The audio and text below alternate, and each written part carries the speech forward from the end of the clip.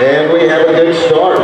FYI. Holding the middle of the track, we have St. Joseph Ogden and they're flanked by Pana and Seneca on each side as they'll run one full lap in their lanes. Go McLean! And out on the outside in lane eight, Clifton Central looks to be running pretty strong.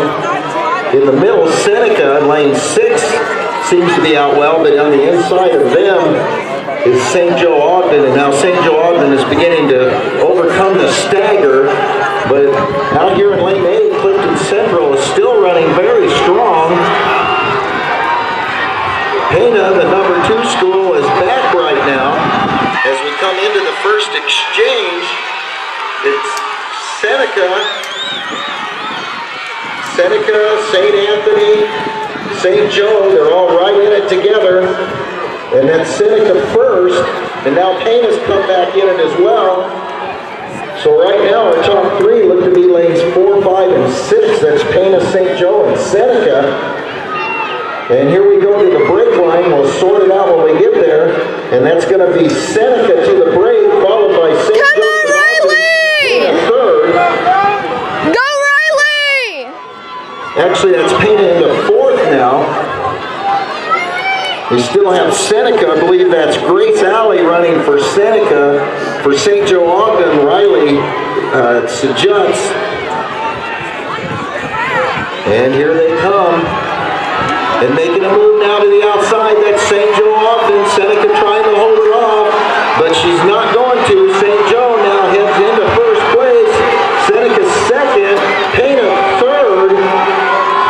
And here we go into the exchange. That's Stark County in fourth. And at the exchange at 201, that's St. Joseph Ogden and Seneca and then Pana.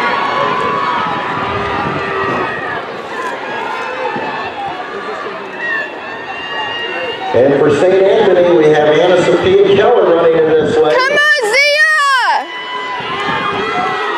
Zia Maroon is in the lead right now for St. Joe. For Seneca, I believe that's Emily Woods, and she's coming right up on Maroon's tail. Pana's in third. Pana should have right now Claire Holhouse, a junior. And they've got some ground to make up. It's St. Joe Ogden, and it's Seneca. For Seneca, number 641 is Emily Woods.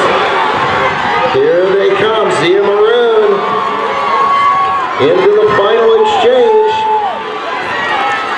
302, that's St. Joe Ogden, that's Seneca. Pana, Stark County now third, Pana a fourth. They need to get the rail to keep that fourth, and they won't do it. Pana now into fifth. Come on, Abby!